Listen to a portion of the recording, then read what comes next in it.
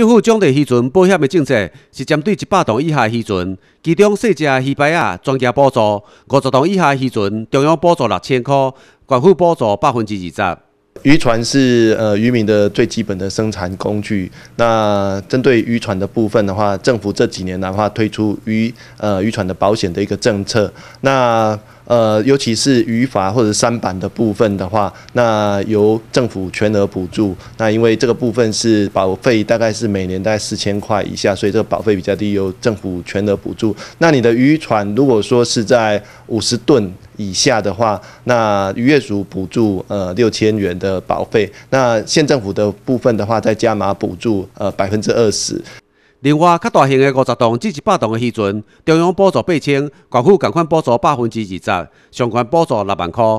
那渔船的吨位如果是五十吨以上，未满一百吨者，那由渔业署呃补助八千元。那县政府的部分再加码百分之二十，那最高补助是六万元。那这个政策是呃保障呃渔民的生财工具渔船法的部分非常非常重要的一个呃政策工具。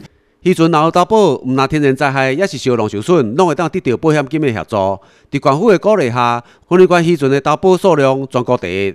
呃，投入渔船保险以后的话，那如果遇到相相关的一个天然灾害的部分，呃，你的渔船受到或者是跟渔船跟渔船之间碰撞或跟建物碰撞的部分，呃，都可以获得理赔。从一百零二年到一百零三年，呃，云林县投保的渔船的数量将近两千艘，那目前的一个纳保的一个数量是全国第一。那一百零三年跟一百零四年也有大概有七件的一个呃渔船有收受到天。难灾害损失，那也很顺利的，呃，都获得理赔。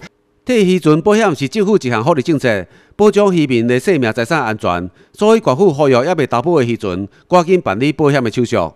记者易明伟采访报道。